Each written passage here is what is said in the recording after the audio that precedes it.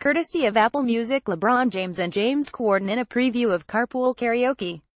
Apple Music's premiere web series Carpool Karaoke, a spin-off of the segment on The Late Late Show with James Corden, has just released a teaser for its next antics-filled episode. While nearly all of the episodes have featured various comedians and actors shuttling around top-shelf pop stars, driving a high-profile guest such as LeBron James whose episode is set drop on October 31st requires a sing-along heavyweight.